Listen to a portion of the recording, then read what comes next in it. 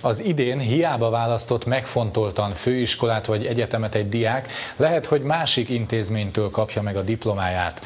Az intézmények jelentős átalakulás előtt állnak, a szaktárca pedig még a nyári szünetben dönteni akar az átszervezésről. A felsőoktatási államtitkár szerint a versenyképesség a cél az nem egy jó állapot, ha találgatások jelennek meg a sajtóban itt ott. A felsőoktatási államtitkár kezdte így sajtótájékoztatóját.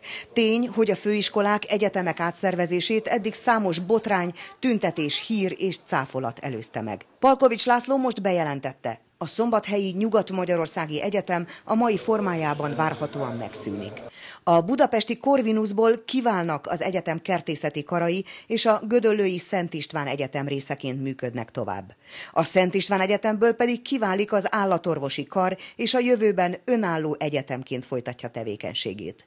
A tervek szerint a gyöngyösi és a szolnoki főiskolákra fúzió vár, és több vidéki karnak is fel kell készülnie a névtábla cserére. Az összes ilyen integráció az ahhoz kell vezessen, hogy a létrejövő új konstrukciónak a működési feltételei javuljanak, tehát kevesebbe kerüljön, optimálisabban működjön. Hogy mennyivel kerül majd kevesebbe az államnak a régi új intézmények fenntartása, azt az államtitkár nem tudta megmondani.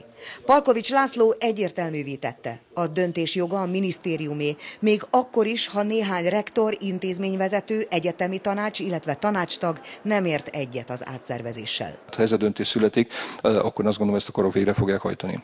A döntés még az új tanév előtt augusztus végén megszületik, még akkor is, ha a főiskolai egyetemi oktatók számára igazán most kezdődik a nyári szünet.